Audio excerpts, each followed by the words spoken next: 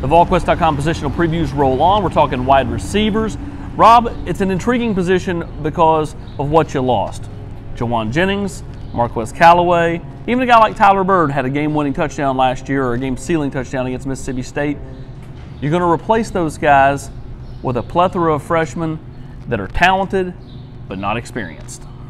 Yeah, and Josh Palmer comes back. He caught 34 balls Sure. last year. I think he's, you know, you know, you know, he's a playmaker or can't has the potential to be a playmaker. But can he be the guy? Can he be Batman? I mean, he, he was never, he was never, you know, the other team's best cornerback was never on Josh. yeah, Palmer, that's right. Ever, you know, not, you know, unless you know, just some kind of alignment deal. But after him, Ramel Keyton, Cedric Tillman caught four balls last year. Those those are the your leading returning receivers in, you in got, terms Brand, of catches. you got Brandon Johnson Brandon coming Johnson back off a red back. shirt, who's played you know a lot of ball And- around here, but how much will he really factor? I mean, I to me, that's the question. he's dependable, but he's not a dynamic playmaker. That's right. So to me, to be to find your dynamic playmakers, you've got to look at Deangelo Gibbs, who's a total X factor. You don't know what you're going to get out of him. He played de- defensive back at Georgia.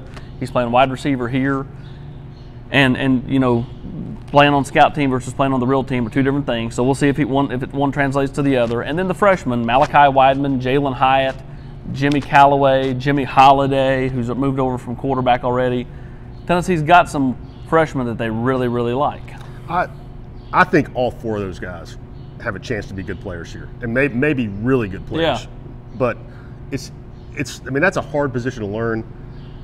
No, I mean, you didn't have none of those guys. Not that they had spring practice anyway, but none of those guys were early enrollees. They Yeah. mean, even even to be here just talking with coaches and you know doing routes on air with, with the quarterbacks. They didn't they didn't have that. Or Holiday was, but he was playing quarterback at the time. And I just, I mean, that's there's a lot to learn at wide receiver, and I don't know how you know Keyton. I think is really talented, and you look at him. He came. He, he made four catches last year. Yep. I think. I mean, I look for Keyton to make a jump. I, think I do too. I think he's got some potential. I think you and I are on the same page on him. No one's going to talk about him, but he's going to be steady Eddie and, and a real pr- productive player for this group. And you go back and look. I mean, it, it was one game, but you saw what happened with him. I mean, he made some. He made some plays in the bowl game. yep. some big time plays. You know, once you, it was kind of exactly what you want to see from a freshman who has those 15 practices after the season is to kind of take a step back and, you know, maybe digest some information and like, okay, I kind of get it. And he, I mean, he was clearly a part of the game plan in, in the bowl game. I'll look for him to make a jump. And I, I mean, I think Tennessee will get something from the freshman. I'm really, I mean, I, I, I'm intrigued by all those guys. I mean, I think they all bring something to the table. I mean, Hyatt is a burner like Tennessee needs. Wideman is a freak athlete. I think Calloway is going to be great as, as a slot guy, just a shifty dude who, who's hard to bring down.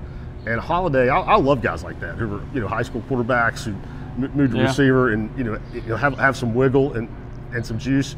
I just don't know what you could expect from those guys out, of the gate. I, think Gibbs is a, is a wild card. I, I think He, is the wild card. I'll say this about the freshman receivers Jim Chaney's done it before here with Justin Hunter and Rick Rogers. RIP. So we'll see if he can do it again with this current group. But you're right. They need, first and foremost, Josh Palmer to be the guy. If he can be the guy, then I think everything else falls in around him because you don't have to have all those kids be perfect. You just have to have them, you know, one steps up one week, another steps And up another. And you don't have to have a set number two or three or and whatever. you can teach them a little package. You Yeah. know, they, they don't have to learn all three spots. You know, they can learn, you know, maybe five plays at, one spot, and then you, you build on that. But you're right. I mean, Palmer Palmer's got to come through, and then either Keyton or Gibbs, in my opinion, ha- has to be more than serviceable. They, they have to be a good SEC player. And with everybody hoping Jarrett Guarantano takes a big step in year number two under Jim Chaney, he'll need these receivers to come along with him and be productive for their senior quarterback. For Rob Lewis, I'm Austin Price.